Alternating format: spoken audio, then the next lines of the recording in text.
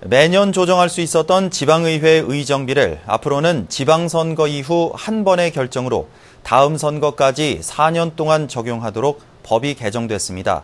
이 때문에 경북 지역 시군 의회가 이번 기회에 의정비를 올리기로 하고 이미 조율을 마쳤습니다. 주민들의 반발이 예상됩니다. 이정희 기자입니다.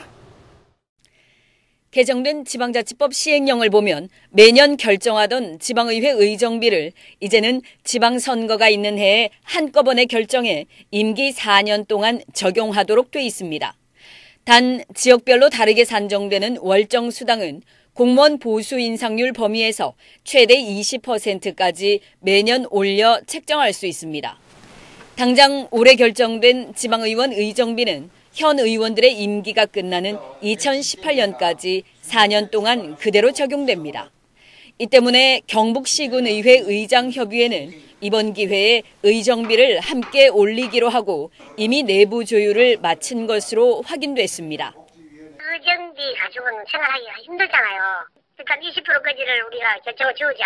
최종적인 결정은 우리 10월 달에 그 울릉도에서 이장 협의회에서 최종적으로 결정을 지우자라고 경북도의회 의정비는 5,214만 원, 전국에서 10번째로 많습니다. 경북 23개 시군의회 의정비는 지난해 기준 평균 3,265만 원, 포항이 3,700만 원으로 가장 많고 울릉이 2,820만 원으로 가장 적습니다. 시군의회 중 가장 먼저 상주시 의회가 어려운 재정과 경제 상황을 고려해 의정비를 지금 수준으로 동결하기로 결정했습니다. 안동시 의회는 현재 의정비가 이미 상한선을 초과해 올리고 싶어도 인상이 불가능하게 됐습니다.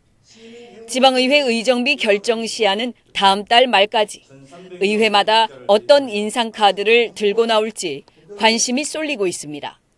MBC 뉴스 이정희입니다.